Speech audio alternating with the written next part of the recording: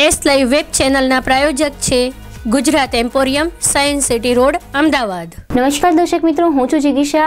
આજે આપણે એસલાઈવ વિશેષમાં વાત કરીશું ગંભીર બીમારીથી પીડાતા બાળકોની ઈચ્છા પૂરી કરતા મેક અ વિશ ફાઉન્ડેશન વિશે. આજે ઓગણત્રીસ એપ્રિલનો દિવસ વિશ્વભરમાં વિશ્વ ઈચ્છા દિવસ તરીકે ઉજવવામાં આવે છે. અમેરિકા સ્થિત મેક અ વિશ સંસ્થા દ્વારા આ દિવસની ઉજવણીની શરૂઆત કરવામાં આવી હતી. આ સંસ્થા પાંત્રીસથી વધુ દેશમાં કાર્યરત છે. ખાસ કરીને ત્રણથી અઢાર વર્ષના બાળકો કે જેઓ બીમારીથી ઝઝૂમી રહ્યા હોય, આવા બાળકોની જીવનમાં રહેલી ઘણી ઈચ્છાની પૂર્તિ માટે આ સંસ્થા કાર્ય કરે છે. કોરોના મહામારીના કપરા સમયમાં ડિસેમ્બર મહિનામાં માસૂમ જીયાના પરિવારને ખબર પડી કે દીકરીને બર્કિટ લિમ્ફોમા નામનું કેન્સર છે. અમદાવાદ સિવિલ મેડિસિટીમાં આવેલી કેન્સર હોસ્પિટલમાં સારવાર શરૂ કરાવી. ત્યારબાદ જીયા હોસ્પિટલમાં દાખલ હતી ત્યારે મેકવિશ સંસ્થામાંથી વિવિધ મહિલાઓએ હોસ્પિટલની મુલાકાત લીધી.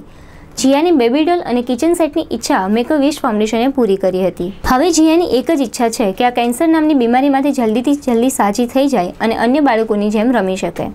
આવો જ એક અન્ય કિસ્સો સુરત શહેરના આઠ વર્ષીય નૈતિક પાટીલ સાથે બન્યો, જે એક અતિગંભીર બીમારીથી પીડાઈ રહ્યો છે અને સુરત સ્થિત એક ખાનગી હોસ્પિટલમાં તેની સારવાર ચાલી રહી છે. નૈતિકની આર્મી ઓફિસર બનીને દેશની સેવા કરવાની ઈચ્છા છે અને એક દિવસ આર્મીનો યુનિફોર્મ ગણવેશ પહેરવાની ઈચ્છા ધરાવે છે. જે માટે આ સંસ્થાએ વડોદરાના આર્મી કેમ્પમાં સંપર્ક કરીને તેની આ ઈચ્છા પૂર્તિ કરવાનો પ્રસ્તાવ મૂક્યો.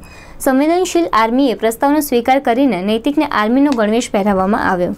એટલું જ નહીં, નૈતિકને આર્મીમાં સેલ્યુટ કેમ કરવું, સાવધાન અને વિશ્રામની સ્થિતિ સમજાવીને તેનું અનુકરણ કરાવવામાં આવ્યું. આ મેકવીસ સંસ્થા દ્વારા કોઈ બીમારીથી પીડાતા બાળકોની ઈચ્છા પૂર્તિ માટેના પ્રયાસો કરવામાં આવે છે. ભારત દેશમાં ઓગણીસો છન્નુંથી આ સંસ્થા કાર્યરત છે. છેલ્લા ત્રેવીસ વર્ષમાં આઠ હજારથી વધુ બાળકોની ઈચ્છાપૂર્તિ કરવામાં આ સંસ્થા સફળ રહી છે.